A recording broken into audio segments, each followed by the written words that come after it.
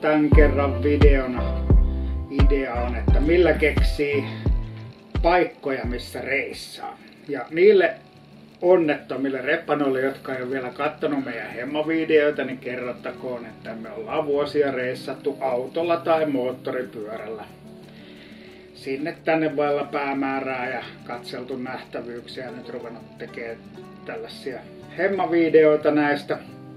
Ja tota, jos asia rupeaa kiinnostaa enemmän, niin täällä vasemmassa alanurkassa pitäisi olla, onhan tämä vasen sillä kuvaruudussakin, vasemmassa alanurkassa on tilausnappi.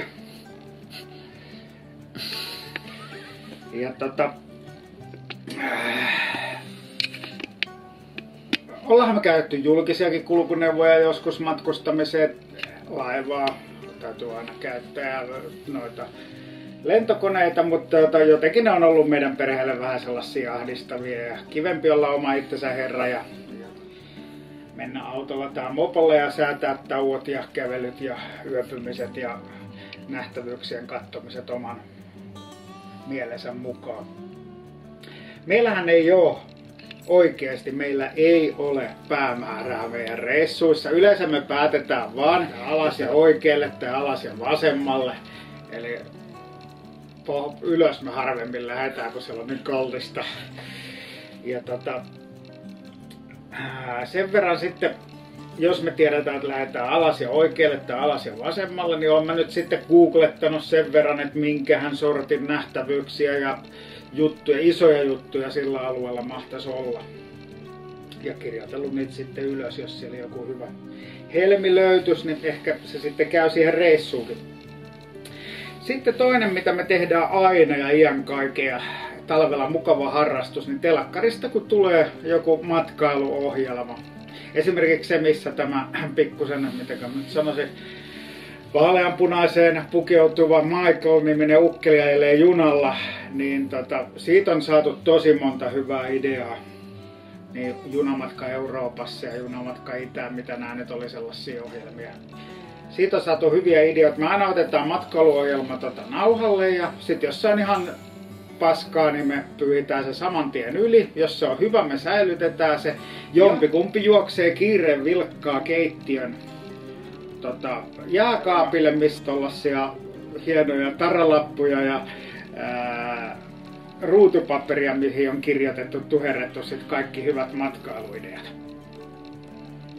Ja jos sitten ollaan lähdössä vaikka alas ja oikealle, niin katsotaan samalla se taralappu ja ruutupaperit, että onko siellä jotain ideoita, mitä ollaan tässä vuoden tai monen vuoden mittaan löydetty. Sitten meillä on tällainen kirja. Tuhat paikkaa nähdä ennen kuin kuolla kupsahdat.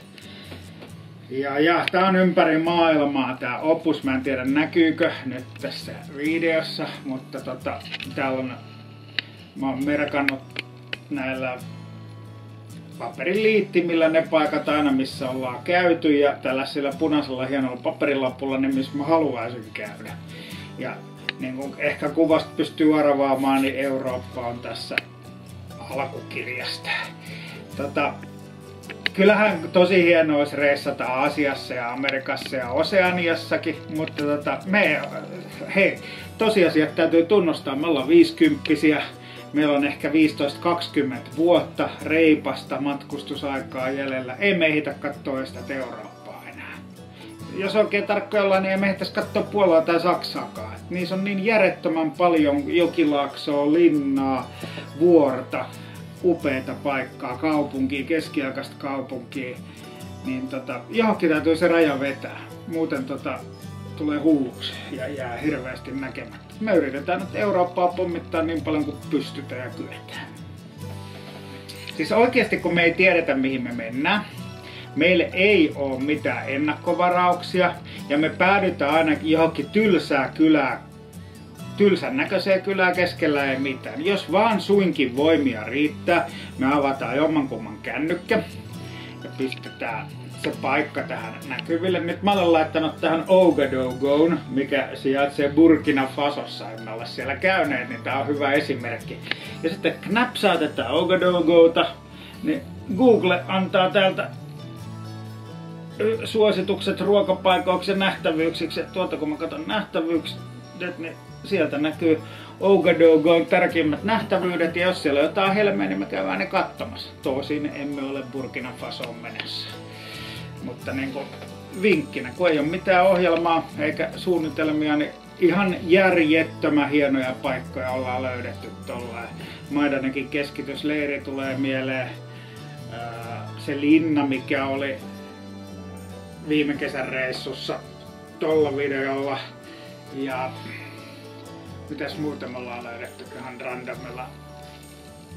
toi viime kesän reissussa se palatsi pohjoispuolessa, mikä on tolla videolla. Niin, ja sitten... Tämän, tällaisia asioita. Niin, no sitten oli se Katarina suuren palatsi. Joo, mikä on aivan upea paikka. Se on vaikka tolla videolla sitten. Ja tota, ei se sen kummempaa Tuleeko sinulle nyt mieleen jotain tästä niinku matkakohteiden valitsemisesta ja nähtävyyksistä? Siis monestihan matkakohde valitsee meidät. No niin, no tuurillahan se menee. Ja sille löytyy ihan parhaita, niin kuin ehkä olette noista videolta nähty, nähnytkin, niin sellaisia paikkoja, mihin muuten ei eksy vahingossakaan, niin ihan satumaisella tuurilla saatetaan joutua. Niin, eksymisen kauttahan on monen jouduttu. Niin, se on parasta, kun on tyysti hukassa. Niin tota... Senpä takia kannattaa joskus välttää niitä moottoriteitä ja kulkea sit pikkuteitä pitkin, että sit löytää niitä ihmeellisiä paikkoja, kuten Serbiassa ja Slovakiassa ja Sloveniassa, että seikkaillaan maaseudulla ja löydämme itsemme jostain upeasta no, paikasta. motorin varrelta ei taatusti löydä kukaan mitään kuin sellihuoltoasemia. Että, että, jos ei ole mihinkään menossa, niin joutuu ajaa vähän hiljan palanteteitäkin pitkin. Sobiborhan löydettiin vahingossa. Tavallaan. Pauttia rauhaa, kun vedettiin Itä Puolaa Valko-Venäjän rajaa pitkin. Mutta sellaista kokeilkaa. Sillä rimpsis.